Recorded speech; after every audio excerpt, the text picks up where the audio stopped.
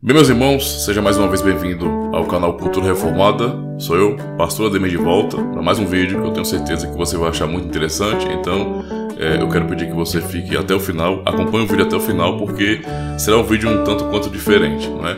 Não é bem um react que eu irei fazer aqui, mas eu vou colocar aqui um, uma fala de uma pessoa, né, que frequenta comunidades, uh, e comentar essa fala para vocês. Só é o áudio, tá? Vocês vão acompanhar o áudio aí no vídeo nesse vídeo, mas é interessante para a nossa reflexão. Talvez, talvez isso te interesse muito, então permaneça até o final, beleza? Se você não for inscrito, já aproveita e se inscreve no canal marcando o sininho, dá o joinha, tá bom? Que é importante. E ao término do vídeo, gostou do conteúdo? Não é? Deixa nos comentários também se você tem alguma experiência semelhante que eu vou relatar aqui ou que eu vou demonstrar aqui nos comentários, tá bom? Então, sem mais delongas, bora pro vídeo, roda a vinheta.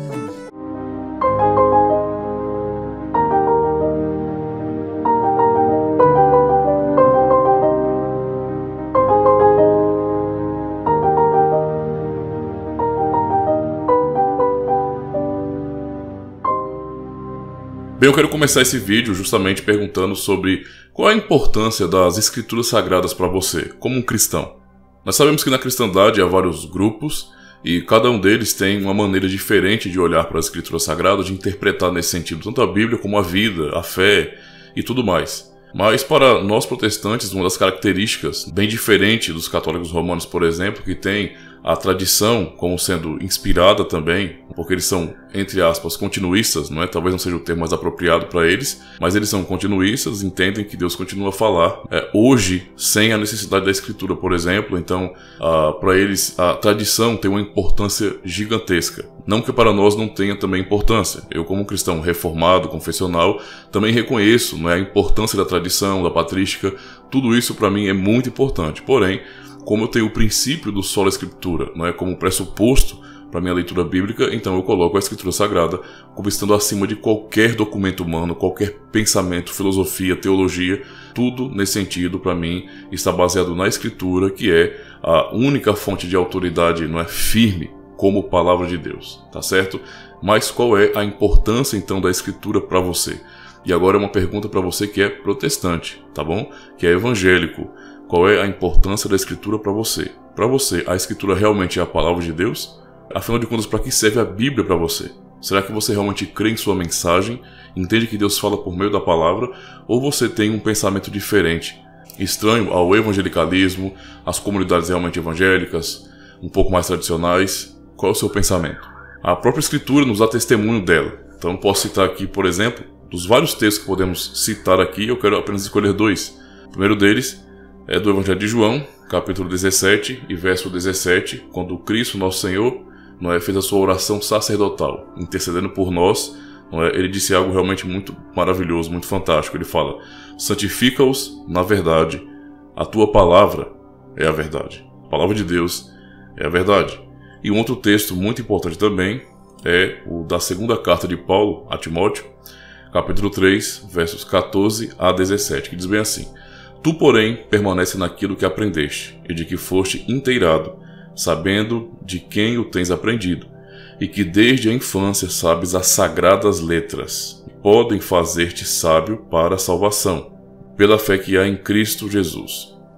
Toda a Escritura é divinamente inspirada e proveitosa para ensinar, para repreender, para corrigir, para instruir em justiça, para que o homem de Deus seja perfeito e perfeitamente preparado para toda boa obra. Então, podemos ainda pensar em vários textos, vários textos, né? Apóstolo Pedro também fala sobre isso, um pouco mais parafraseando aqui. Ele afirma que, é, na verdade, é, homens movidos pelo Espírito Santo né, falaram da parte de Deus. Que nenhuma profecia tem origem no coração humano, na, na, no pensamento humano, na filosofia humana mas homens, movidos pelo Espírito Santo, falaram as palavras de Deus. Né? Pedro ensina isso né, na segunda carta, no capítulo 1, versículos 3, 16 a 21. Tá? Então, são textos e mais textos que falam sobre a importância da Escritura e também sobre a sua autoridade máxima sobre a igreja, sobre a verdade. Não é porque a palavra de Deus é a verdade. A Escritura é o registro da verdade revelada por Deus. Mas vamos acompanhar então esse áudio porque talvez você se identifique muito. Vamos ouvir aqui. E aí, não do irmão que esteja falando em si, mas assim, algumas pessoas que iam levar a palavra, né? A gente tá é, cada vez mais buscando a melhorar, né? A gente tem que estar sempre em oração e buscando direção do Senhor, que o Espírito Santo venha se revelar e mostrar pra gente, né? Mas assim, senti que em algumas pessoas que foram lá levar uma palavra, é, fala, liam o que estava escrito da palavra do Senhor, mas não falavam aquilo exatamente que o Senhor queria que, sabe, fosse passado para a igreja não foi um, um, um, não foi direcionado diretamente da parte do pai. A pessoa juntou já sua opinião pessoal ou falou o óbvio que estava escrito ali. Aquilo ali, em algumas dessas coisas, entendeu? Que eu senti a desejar, que eu falei, ué, mas o Senhor, não é assim. O Espírito Santo me falava, não, não é assim, não é assim que eu tô querendo passar, não é assim que eu quero que leve essa palavra. Pronto, vocês ouviram o áudio aí. E você percebe, na verdade, o relato de uma experiência, não é? Onde essa pessoa ouviu algum irmão da comunidade aí é, pregando, tendo uma oportunidade, e essa pessoa é, aparentemente vê na, no, o, alguns irmãos aí que estão tendo a oportunidade ou pregando com um certo tipo de frieza, não é? E segundo essa pessoa, pelo que foi dito aqui no áudio, não é? A pessoa lia nesse sentido, colocando as suas próprias opiniões na pregação, e, ou então, no caso aqui, só falava o óbvio do texto, não é? E ela disse que isso não é algo vindo do Pai, não é algo vindo do Pai. E pelo que nós percebemos aqui, ela relata que o Espírito Santo estava falando no coração dela, dizendo que não era isso não é? E aí, não do irmão que esteja juntou já sua opinião pessoal ou falou o óbvio que estava escrito ali. Aquilo ali, em algumas dessas coisas, entendeu? Que eu senti a desejar, que eu falei, ué, mas o Senhor, não é assim. O Espírito Santo me falava, não, não é assim, não é assim. Ela disse que o Espírito Santo falava a ela que não é assim. É? Então a pessoa leu o texto, é? explicou um pouco do texto, mas segundo ela, o Espírito Santo dizia a ela que não é assim. E é, é uma coisa estranha, né? Eu, eu quero comentar justamente isso. Por isso que eu perguntei no começo do vídeo qual a importância da escritura sagrada para você. Então, só para vocês perceberem de cara uma contradição aqui que não é infelizmente incomum, não é incomum, que é a pessoa ler um texto, ler um texto da palavra de Deus, explicá-lo e alguém que tem essa mentalidade acabar dizendo que o Espírito Santo falou ao contrário.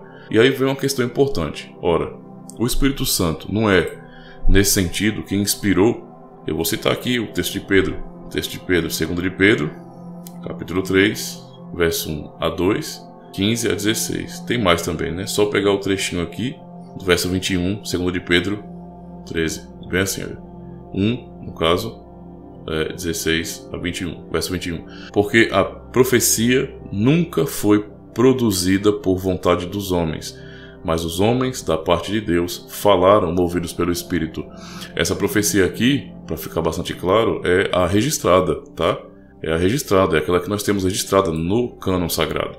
Beleza? Então isso é importante demais compreender. Esses homens falaram da parte de Deus. Ele está dizendo aqui que a profecia nunca foi produzida por vontade humana.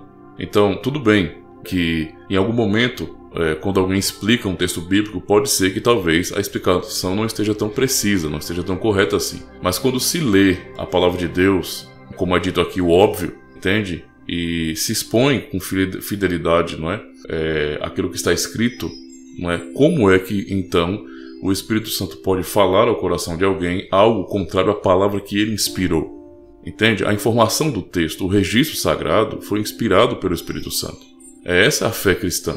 Entende? Então, qual é o sentido do mesmo Espírito Santo que inspirou nesse sentido os livros, não é? Os textos sagrados, ser aquele que diz que está errado, que não é assim, que isso não é a vontade do Pai. Isso aqui é só um pequeno exemplo, eu sei que tem muitos outros exemplos, tá? Eu queria aproveitar esse exemplo aqui e ampliar, citando, não citando, mas apenas mencionando, não é? Que há tantos outros exemplos de, de acontecimentos assim. Não é incomum. Eu mesmo já passei por esse tipo de experiência como pastor, uh, principalmente no início da reforma, né? Eu digo assim, quando estávamos realmente é, passando por uma transformação na igreja, pessoas que vinham de ambientes mais carismáticos, não é?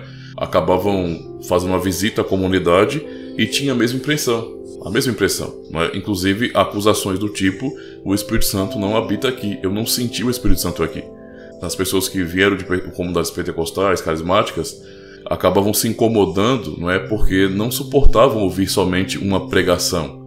Não é? Você não tinha momento no culto para para emocionar ninguém, então não tinha aqueles hinos que tem o objetivo realmente de emocionar, emocionar que nem hinos são, na verdade são músicas mesmo, músicas gospel, uh, e você não tinha nada disso aí, nem profecia, nem, nem profetada, né, para dizer melhor, e a palavra é lida, era lida e pregada, era uma exposição da palavra de Deus, e as pessoas, não é, realmente é, não suportavam, até saíam dizendo que esse homem só vive distorcendo a Bíblia, é? Ou então eu não sinto no meu coração que aquilo é verdade. Então, esse tipo de situação é infelizmente comum no meio das igrejas evangélicas, de muitas igrejas evangélicas, digamos assim.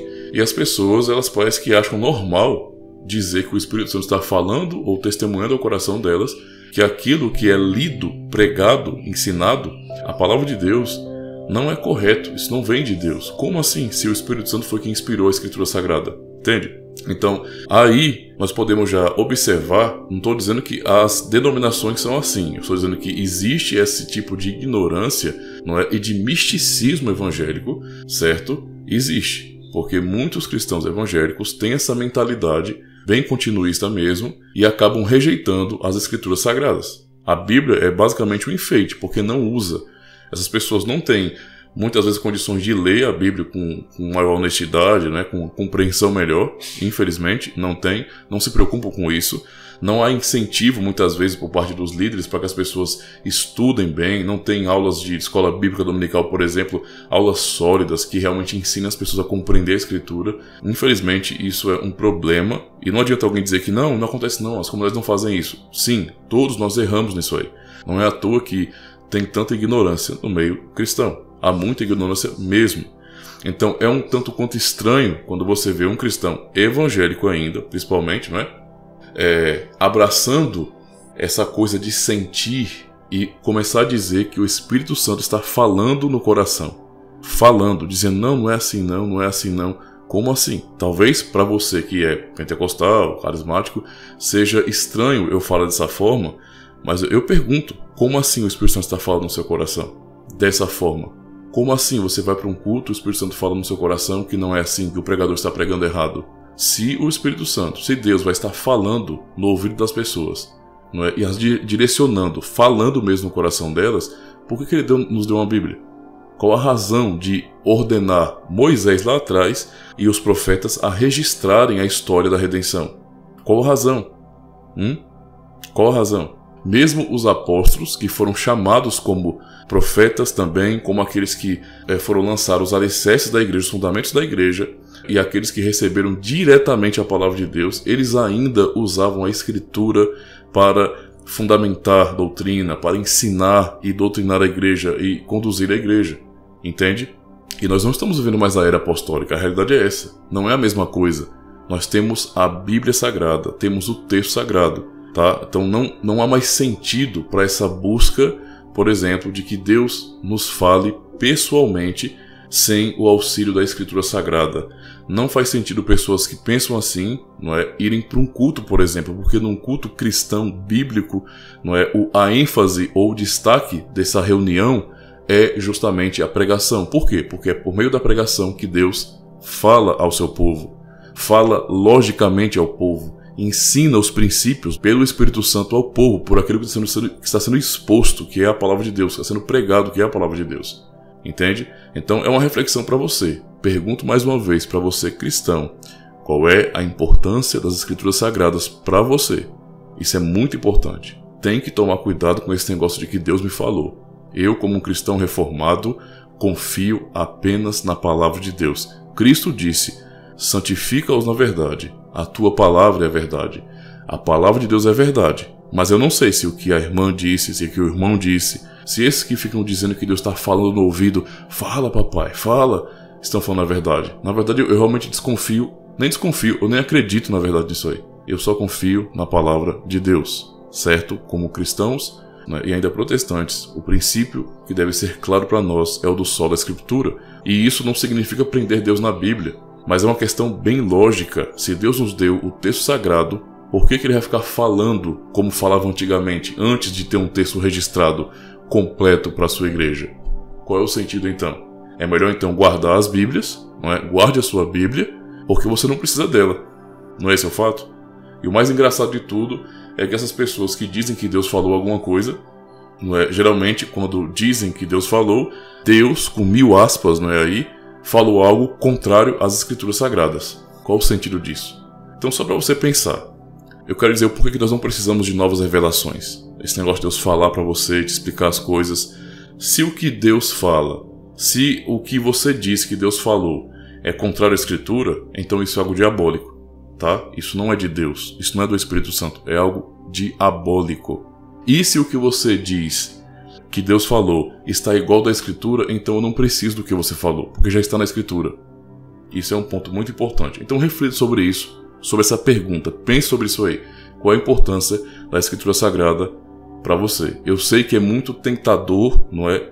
Você abraçar mais essa questão da emocionalidade onde as pessoas têm experiências pessoais, experiências pessoais com o Espírito Santo, não é? E isso parece muito religioso, muito espiritual, muito profundo. E isso para mim não passa de balela, de falácia, de misticismo e paganismo envolvido no meio.